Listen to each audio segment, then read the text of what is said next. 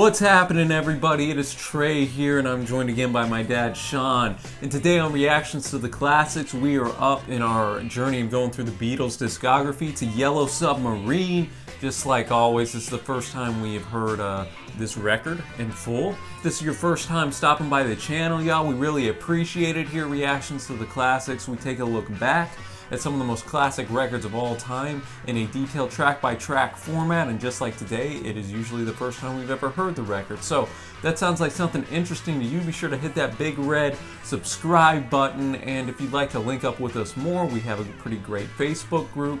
The link is in the description as well as our Patreon where you can support us and get some perks yourself. And Sean, we're up to Yellow Submarine. It is considered an album, but uh, it only has four new songs on it, so this isn't going to be as long as our normal reviews. But uh, all that to say, let's uh, just dive into the quick facts. Yeah, Trey, as you mentioned, it has four Beatles uh, original songs, two others, All You Need Is Love, and of course Yellow Yeah. Submarine that are previously released to give you six Beatles songs. Then there's seven instrumentals that was re-recorded by Martin that he had put up for the film Yellow Submarine, which this is obviously the soundtrack for. Yellow Submarine premiered in July of 1968. They didn't release this album until January of 1969 because they didn't want to interfere with the White Album. And a lot of people kind of criticized the Beatles for releasing an LP that only had four new tracks. Uh, after the initial release, the Beatles were going to release an, an EP with the four new songs uh, as well as the uh, Across the Universe that Yes. ended up being on Let It Be. But uh, that ended up never materializing. Yeah, and it didn't because Brian Epstein, before his death, had already signed the contract for this. So George Martin was guaranteed that second side. And obviously, for anybody who's on a Beatles album, the royalties for that would be insane. So that would have cheated Martin out of that. The Beatles were under contractual obligations to provide four new songs to United Artists for this. Uh, their their enthusiasm was not high. They were coming off Sgt. Pepper's. They didn't really want to do that. Uh, and the producer of Yellow Submarine had an interesting quote. Yeah, the producer's name was Al Brodax, and he said that there was a commitment for the Beatles to do four songs for the film. Apparently, they would say, This is a lousy song. Let's give it to Brodax. So that kind of shows you what uh, some of the inside people thought of uh, of the new original listings in this. Yeah, inside people being the Beatles themselves. so we're already going to set the stage for this album. Uh, That kind of gives you an idea of where we're coming from. And on that note, we start out with the title track, Yellow Submarine, sung by Ringo, was a huge hit back in the day. On the album Revolver. Revolver. So we've already reviewed it, but we're going to do it again because you might not have watched it. But I highly recommend Yeah. you watch Revolver. This thing was written by Lennon and McCartney specifically for Ringo to sing. Went to number one in the UK, was the biggest selling uh, single of 1966 in the UK. Went to number two in the United States. It was just a nonsense children's song. As with many Beatles songs, people try to read in political or other meanings.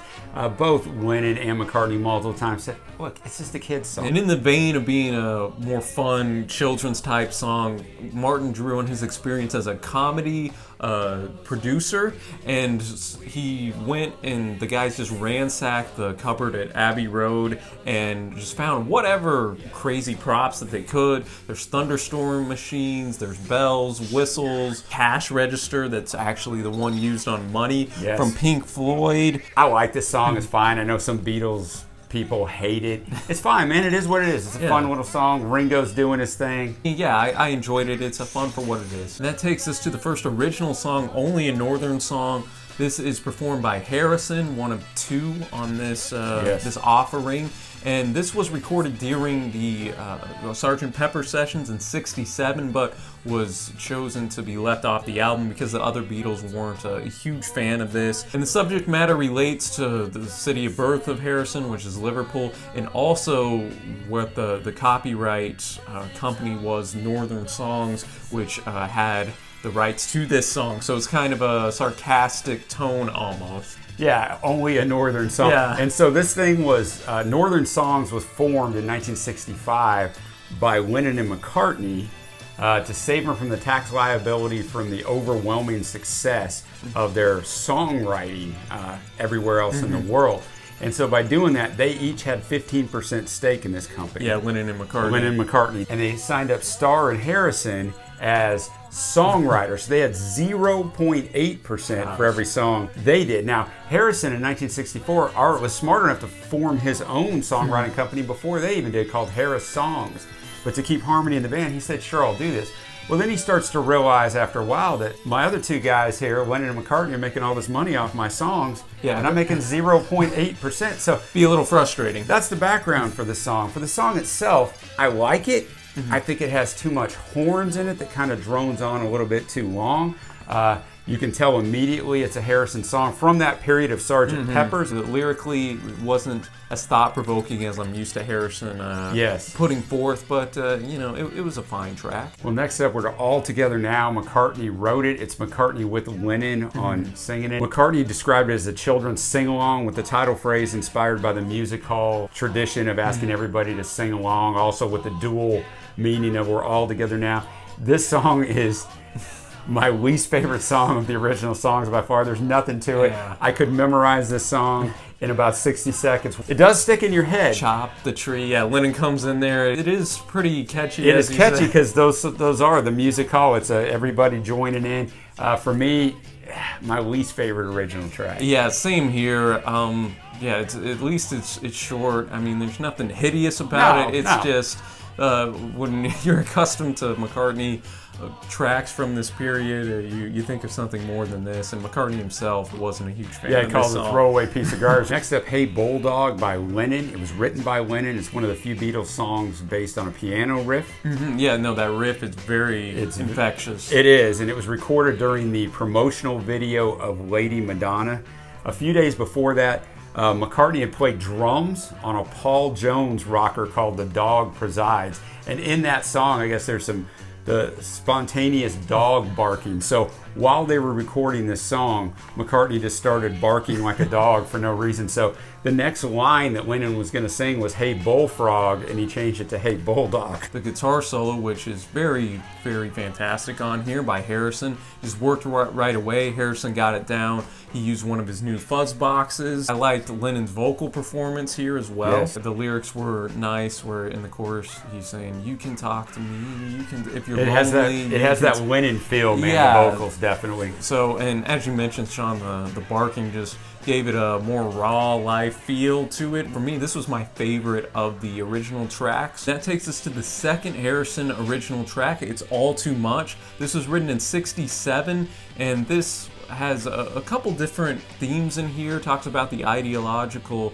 um, message of the summer of love in Yes. 67, as well as uh, the experimentation of LSD and how that opens you up to extraordinary uh, ways of love, or at least it did for George. This is my favorite song on the album. I think Harrison is just going up, man, over Mm-hmm. these last three albums, and uh, It's six minutes long too. It's a longer song. yeah, and it was actually eight and a half to start with, and they cut it down. So yeah, very long, and it's for me, like I said, it's it's definitely the best song for me on this album. And I, I heard some, you know, 67, and whether they took some influence from Hendrix or not, I don't know. But at the start, you have a, a something that sounds right off of "Are You Experienced" Yes. with a bunch of guitar feedback. So I enjoyed it for that. I think George hit all the high points here. So uh, for me, this was another hit on the uh, new original tracks. Now we're up to All You Need Is Love, written by Lennon, number 370 in the Rolling Stones top 500 songs of all time. This was performed in the summer of 1967 on the Our World broadcast.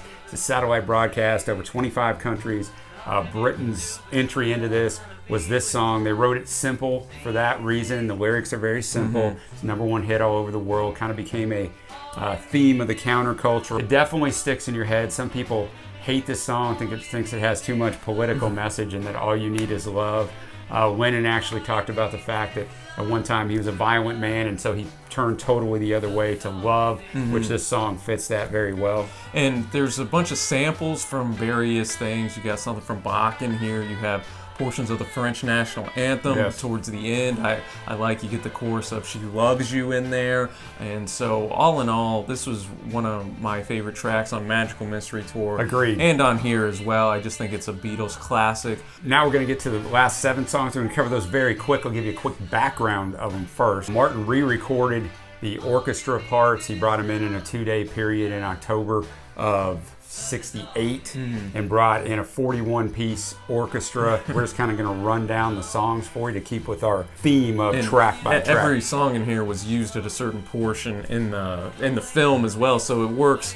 Some of these work, you know, visually when you're watching. when you're the watching film, the yeah. film, yeah, and we'll, we'll kick off with Pepperland. One of my favorites of the instrumental parts of this takes us right into Sea of Time. Features Indian classical instrumentation. Opens with the tanpura drone. Then we go to Sea of Holes, which features a harp played backwards. So even George is getting into Hmm. this stuff. He first got the idea when he was mixing the next track, which was Sea of Monsters. Uh, he used a section from Bach's Air on the G string towards the end of the piece. And that takes us to March of the Meanies, and I know one of the main dudes in there is the Blue Meanie, so I assume it uh, this kind of has something to do with Yeah, that. that's why it kind of has a manic track because he's running away. Yeah. Lennon's running away from him in the movie. and that'll take us into the penultimate track. Pepperland laid waste. Pepperland's a place inhabited by music lovers and beauty. And then the film's antagonist, the Blue Meanies, they hate music and they hate beauty. They attack Pepperland, destroying the land's beauty. And that takes us right in to Yellow Submarine and Pepperland, which is the instrumental version of, Yellow Submarine. So it's kind of neat how we bookend it with Yellow Submarine, the actual lyrical, you know, song, and then with the instrumentation portion. And that'll take us right into our favorite tracks. For me, Hey Bulldog would be the top spot of the original ones, and then All You Need Is Love is one of my favorite Beatles songs. So gotta give a shout out to that. Yeah, I'll go with It's All Too Much by Mm-hmm. Harrison, my favorite. Then All You Need Is Love, as you mentioned. It's going to take us to our overall grade. And guys, this is very difficult to do an overall grade, right? Because you got four original songs, you got a bunch of instrumental things. So, from It's essentially an EP disguised as an LP. exactly, and so for me, it's going to be a six point seven five, which for the Beatles is insane because everything mm. I've rated has always been mm. really high or almost, real, you know, in the nine or up range. But you know, it is what it is, and they even mentioned on mm-hmm. countless times that you know.